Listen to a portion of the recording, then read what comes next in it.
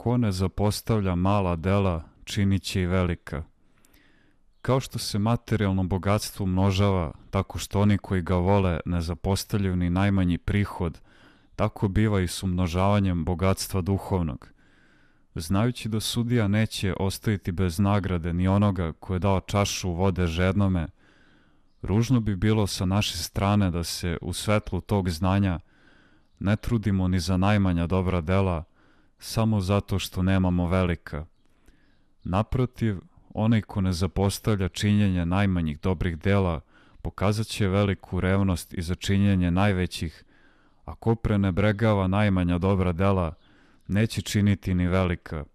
Da se to ne bi dešavalo, Hristos je odredio velike nagrade i za najmanja dela. Šta može biti lakše od posjećivanja bolesnika? A Gospod će i za to dati veliku nagradu. Prema tome, stremi večnome životu, raduj se gospodu i moli mu se. Uzmi opet na sebe njegov blagi jaram, prihvati na sebe njegovo lako breme, negnašćem svom dobrom početku pridodaj i njegov dostojni svršetak. Ne dopusti da propadne takvo duhovno bogatstvo. Ako pak i dalje budeš razgnevljivao Boga svojim grešnim delima, pogubit ćeš samog sebe.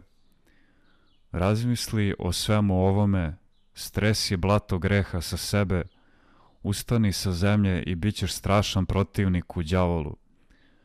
On te oborio, misleći da više nećeš ustati, a kada bude video da si ustao i krenuo na njega, on će poražen neočekivanim razvojem događaja izgubiti volju da se ponovo bori proti tebe, a ti ćeš u buduće biti bezbedniji od takvih njegovih ubojitih napada.